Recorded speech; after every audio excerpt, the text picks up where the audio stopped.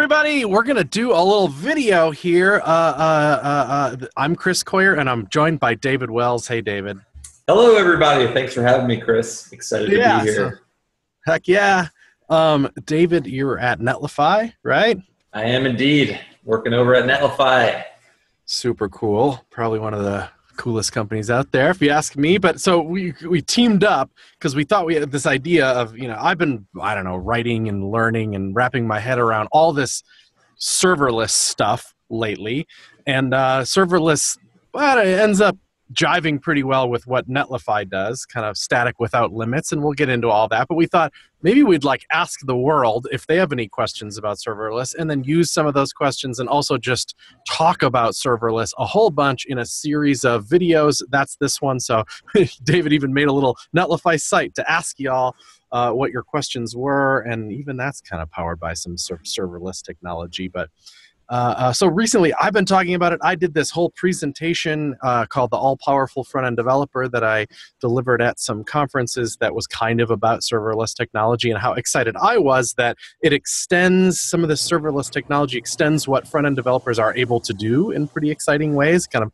unlocks some doors, or I think the metaphor I use is it kicks over some roadblocks that would normally be there for the front end developer skill set and and David's got a wonderful talk why serverless architecture is changing software development. So we've kind of were- been on the same page. Yeah. Indeed, yeah, yeah. I've been, uh, you know, like pretty deep into the serverless world for a, a little over two years. Um, Yeah.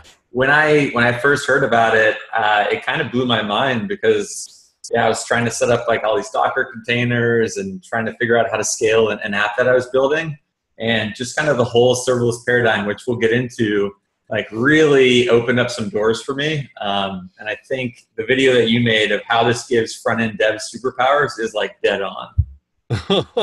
well, it's it, that's nice to hear because you're the expert here, and you actually can, you know, write serverless code and understand it all in a deeper way. And I'm just like, cool, neat. Uh, but hopefully, I can uh, kind of help. Um, I don't know, guide this and and and stuff, and and we'll learn. So this first video is just what the heck is serverless, David. If you had 15 seconds, what is it, or or what like your shortest possible pitch for what the heck serverless is? Yeah, sure. So serverless, in a nutshell, is uh, just running your your code on uh, a cloud of your choice, AWS, Azure, etc. Um, and it's pay per execution. The So you only- cloud, huh? Yeah, the cloud. And the cloud. so it's pay per execution, unlike traditional server models where you pay like monthly for the box, and it'll scale for you. So a lot of the things that you have to deal with when you're actually running code on your own servers that you maintain, a lot of that stuff gets taken away from the developer, and you can really just write your application. Nice. Good That's pitch. that's the yeah that's the 15 second one. There's I have a much longer one, but Oh, I'm sure there's a two hour one as well there. So, but so I, I like we always got to tackle this, and I feel like maybe two years from now we'll start stop having to do it. But but for now, people are always like serverless. Aren't there still servers? There's still servers.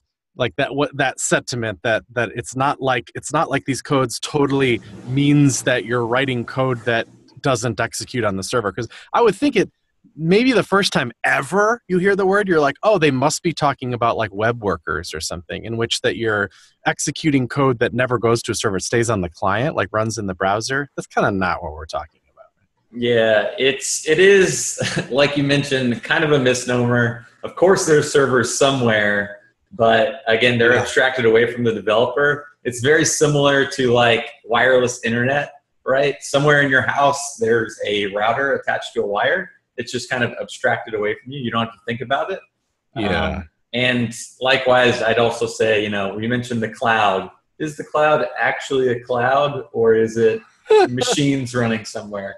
So Sure. The, the, yeah. We're familiar with the cloud, right? The cloud is a bunch of servers in the sky that other people manage and maintain and scale and all that stuff for you. We're just taking advantage of that with serverless technology. We're not spinning up our own servers. And I spin up my own servers all the time for stuff. Like I run CSS-Tricks, I work on CodePen, I have a podcast ShopTalk Show. All those websites are servers that I bought and literally pay monthly for to run Uh, so th- I think uh, people are familiar with that model. You pay for a server, you put stuff on it and run the server. Serverless is is is not that. I don't have to buy the server. I don't pay monthly for it, but I ask of server stuff from it's other people's servers. And yeah. I think what's kind of cool about that is that it, it I don't have to worry about all the stuff that I normally would have to worry about. You've mentioned scaling. I don't worry about scaling, right? I, yep. I just don't have to at all. Yep. So if you, you know, like let's say you build an application and it hits on Hacker News or it's featured on the front page of New York Times. Uh, I hope so. You know, if you're, you know, running on a single like node server, let's say, like that, that simply won't scale with the amount of influx of traffic that you're going to get. Um, but if you're running that same API in a serverless function in something like AWS Lambda, um, you don't really need to worry about that. That load, load balancing is taken care of. Um, as well as That's like so out far outside of my skill set. I yeah. have no idea how to scale a server, but I might want to use one because I want to build websites because I'm a front end developer. So scaling is gone. Um, uh, what could we put into the bucket like like cheaper? Is that always the case? Yeah, so uh, because you're only paying for like the millisecond execution time, uh, it can be like astronomically cheaper. Um, like I ported over probably 12 of my personal projects that were running in DigitalOcean um, droplets yeah. into uh, serverless functions, and I'm actually like well under the free tier of what nice. a, Lambda like gives you. So I basically went from paying like 120 bucks a month or whatever it was to zero. Um, uh-huh. But yeah, it it can uh, like drive some some cost savings for sure, as well as like because you're writing your code in smaller uh, basically functions, following kind of that Unix philosophy of like do one thing and do it well. Um, it's much easier to build um, more things with fewer developers, right? It's no longer do you have to like kind of coordinate across teams or like, hey, DevOps, can you set up my ser- this server and make sure it's you know the security's patched? There's a load balancer. Yeah. There's database replicas. All that all that stuff that like if you're building something that's going to get a lot of traffic, you need to do. Um, you really don't really uh, yeah you don't need to kind of think about those things um, until much. And if you're a front end developer, isn't it? I mean, front end development alone is such a massive skill set that to add DevOps to that seems. Yep. So, so there is, you know, going into like the serverless world, it doesn't mean there's no DevOps. You still want to like monitor your functions and make sure like, uh, you know, your database isn't like being slow and all this other stuff. But it's it's far less than what it used to be, um, and it's kind of shifting. It's shifting that DevOps like kind of mindset into the front end as well. Like if you build it, you run it. Um, and in this case, the provider like AWS is, is running that code for you.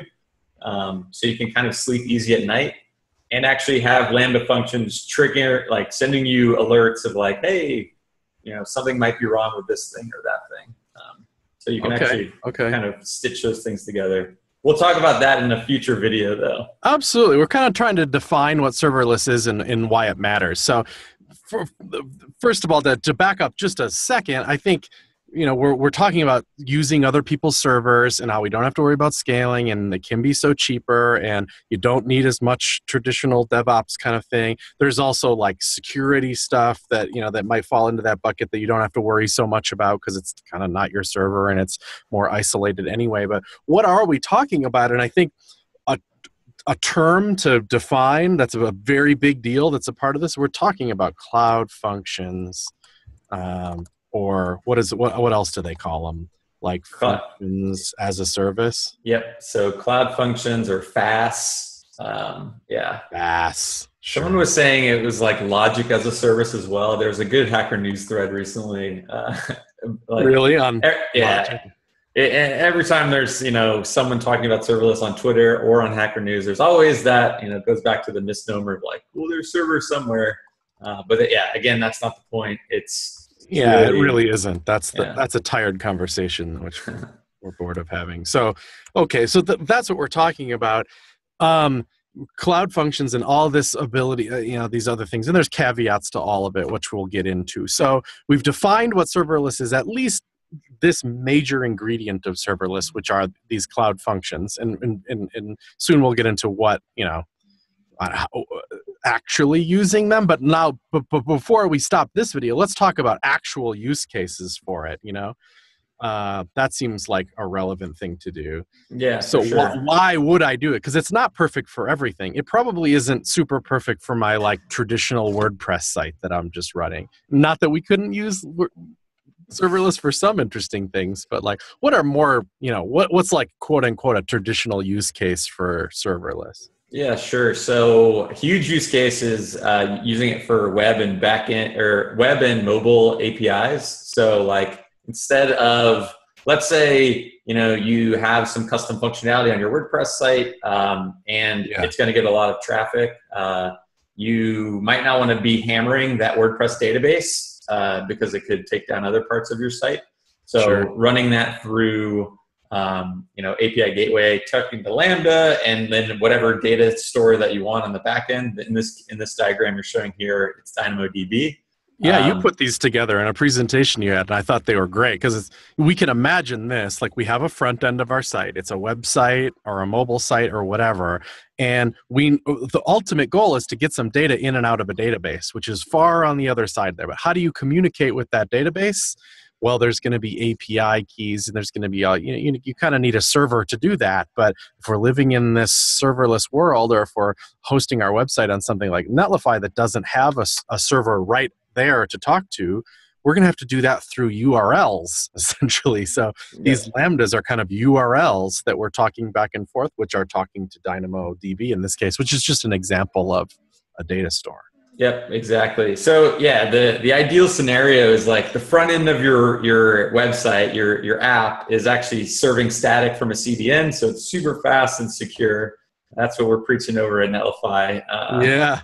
and then you're just calling into your your backend API, which is are, are just simply functions, those URLs, and because like with a static website, you can't put um, you know secrets or API keys like I was using Stripe or, or MailChimp to send emails or whatever, like we can't yeah. put that in the front end of our site because, you know, those bad script kiddies are going to take it and then, you know, rack up our bill uh, or worse. So let me, I got to paint the picture here one more time for my own brain to soak it in.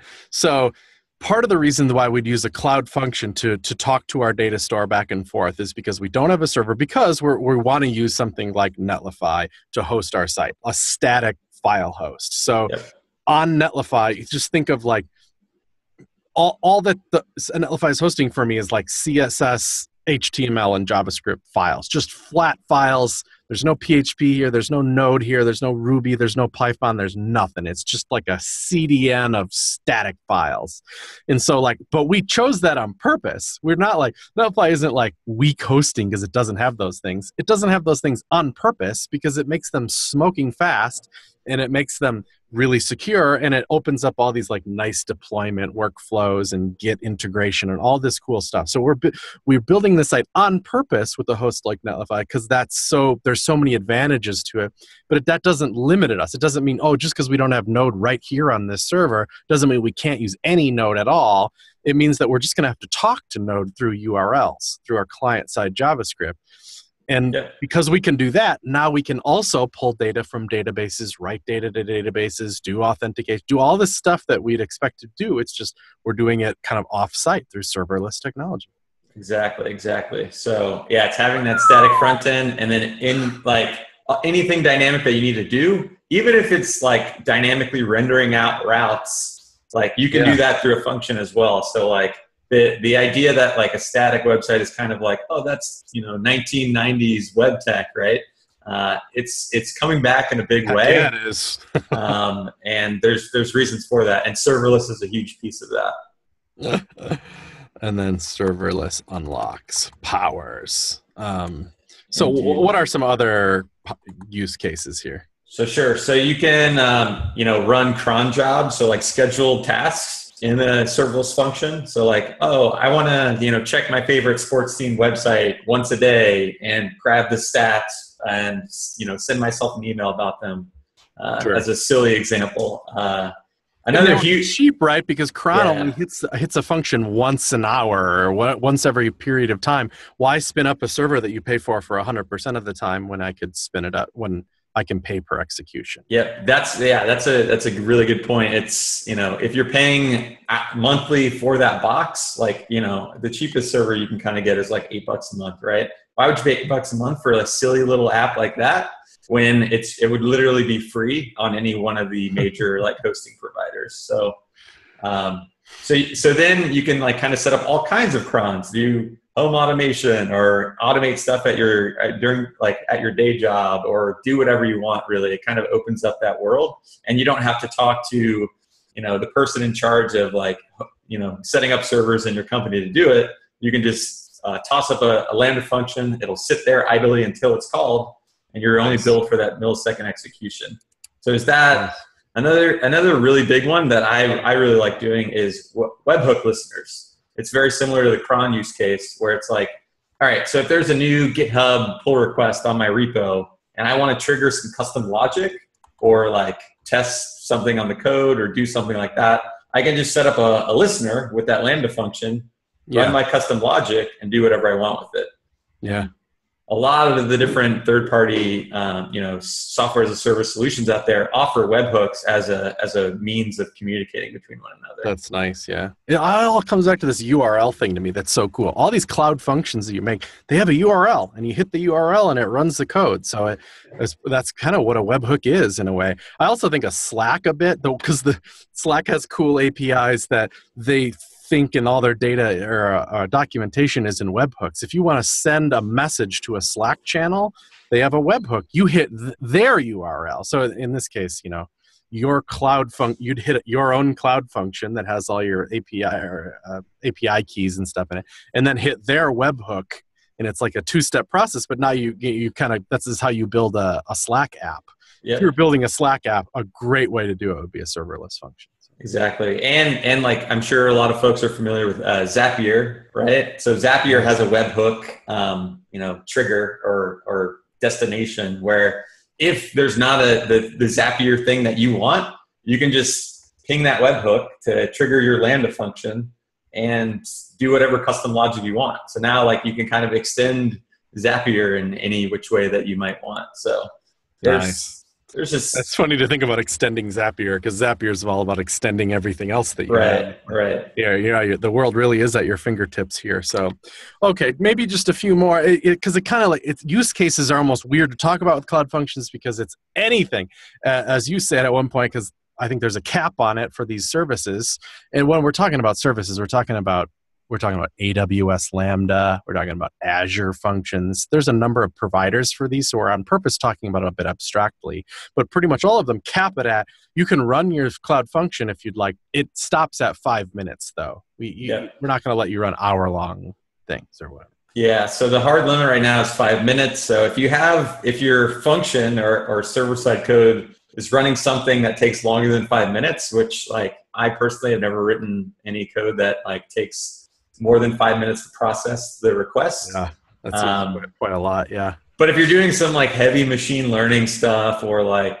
yeah, huge batch jobs and yeah, there's there's some things that don't really fit into that world or might be actually like far more expensive because you're just running this function like for a super long time.